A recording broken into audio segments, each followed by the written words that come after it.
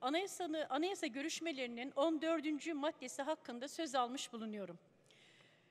Değerli arkadaşlar, zulmün temsilcileri yine ezilenleri, yine kadınları, yine her daim ötekileştirilenleri hedef almaya devam ediyor. Dün akşam burada sicili bozuk olanların maskelerinin nasıl düştüğüne hepimiz Lütfen bir kez daha şahit kullanınız. olduk. Kaba ve yarayıcı sözler kullanmayın Dün akşam Kaya. yine erkekçi zulüm zihniyetlerinin işaretiyle bu zihniyete taşeronluk edenlerin burada bir suçluluk psikolojisi içerisinde kendilerini ispat etmek derdine düşerek ortamı nasıl bir kaos ve şiddet ortamına çevirdiklerine şahit olduk. Sokaklarda, meydanlarda olduğu gibi burada milletin kürsüsünde hukuken sivil bir itaatsizliğe bile tahammülleri olmadığını gördük. Dün bu toprakların kadim renklerinden, zenginliklerinden biri olan Hrant Dink'in katledilişinin yıl dönümüydü.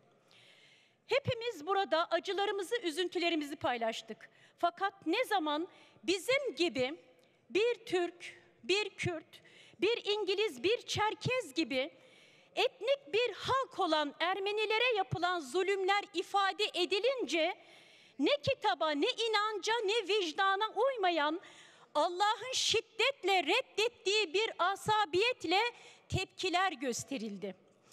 İşte bugün bizler hiçbir üst kimliğin kutsiyetini kabul etmeyen, insanların yaşamını cehenneme dönüştüren politikalardan kurtulmak için bu anayasaya hayır diyeceğiz.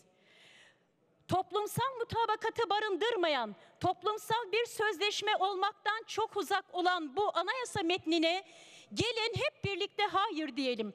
Toplumun ve muhalif olanın, ezilen, emekçi, yoksul ve mazlum olanın, kadın ve öteki olanın, hiçbir kesimin derdine derman olmayan, içine katmayan bu metne hayır diyelim. Tek ses, tek renk, tek adam merkezini esas alan bu anayasa toplumsal bir sözleşme değildir. Türk'ün, erkeğin, iktidarın, zenginin dayatması olan bu metne hayır diyelim. Gelin büyük üst akıldan değil, büyük insanlıktan, yoksuldan, doğadan, paylaşımdan, kardeşlikten, özgürlükten, hak ve haktan yana bir toplumsal sözleşme için bir araya gelelim. Toplumsal barış olmadan, toplumsal barış inşa edilmeden toplumsal sözleşme olamaz. Gelin hep birlikte kula kulluğa hayır diyelim.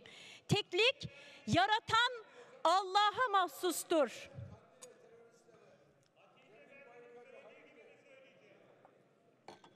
Teklik yaratan Allah'a mahsustur. Yaratandan başkasına teklik atfetmek, tekliği kutsamak ilahlık taslamaktır.